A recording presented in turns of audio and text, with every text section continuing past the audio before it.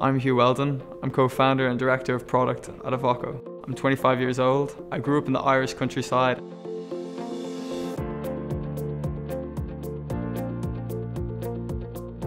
I've always loved the outdoors and from a very young age spent a huge amount of time with my family exploring seashores and travelling around the west of Ireland.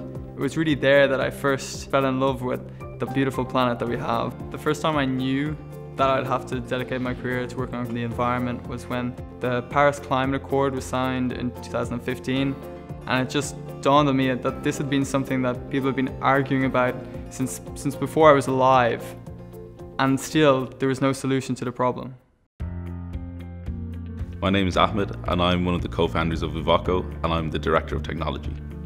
I'd be more on the organised and structured side and Hugh would be more of a dreamer and think more about the bigger picture. People know climate change is bad, but they don't know where to take action first. That's why we're trying to educate consumers about the impact that food has. Food accounts for a whopping 30% of global emissions. And of that, just 7% is for packaging, 12% for transport, and a massive 81% for production. So what's much more important than what it's packaged in or where it comes from is what the product actually is.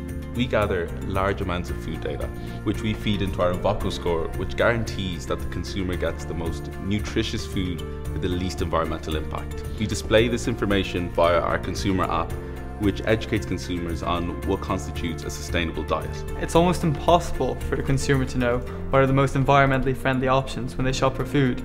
Should they buy these loose bananas or these organic fair trade ones wrapped in non-recyclable plastic? These are the questions Evocco can help you answer. For the future of Evocco, we want consumers to inherently know where their food comes from, how was it produced, what's the impact on the environment. The energy we get from meeting so many inspiring young champions is incredible. It really inspires us to keep going forward and it shows us how so many people out there are trying to achieve the same goal that we are. The seed funding from this award will be key in helping us further develop the app and getting it to market later this year. If we can simplify this problem and engage people through everyday actions, that can have an exponential effect on climate awareness and climate action.